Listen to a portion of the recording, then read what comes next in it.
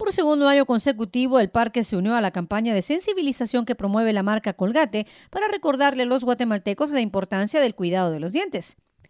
Diego Solares, gerente de marca regional, indicó que con esta acción se dio por finalizado el mes de salud bucal en Centroamérica, enfocado particularmente en evitar las caries en la niñez. Esta importante actividad inició el año pasado y en esa oportunidad el hipo del parque fue el protagonista.